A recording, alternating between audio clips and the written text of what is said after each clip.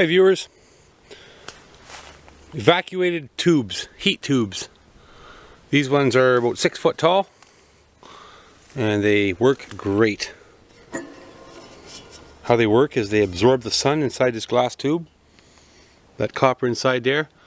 There's acetone in the center of that tube, in the very, very, very center. You can see that tube.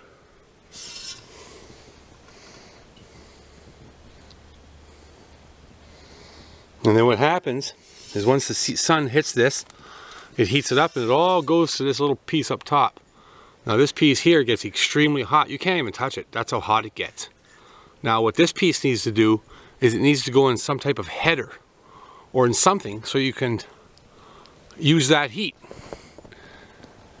from this piece right here. It's the only piece you use. This is the only piece right here that's getting used to do the heat transfer. It really doesn't make a difference what you use it in. I mean, you could basically stick a bottle of water over there and heat up the water. It really doesn't matter. Whatever you put this in, this is going to get hot and it's going to transfer it to whatever. Whether it's air, whether it's water, whether it's oil. It just doesn't matter. Whatever you were going to submerge this into, or put this into, or put this over, the heat from this will go into whatever.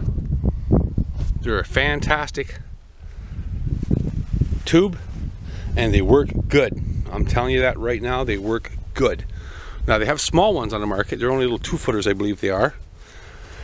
I believe they're the same idea, but um, well, as you can see, this is six foot. So basically one tube is three of them. And I have a bunch of them. I'm just showing you two of them at the moment. I don't actually have them hooked up into anything, but I trialed them and uh, aired them just playing with one of them because I haven't quite decided yet what I'm going to use them for. And they don't go bad as long as they don't break. Now of course they're glass so they're definitely fragile. The back side is black.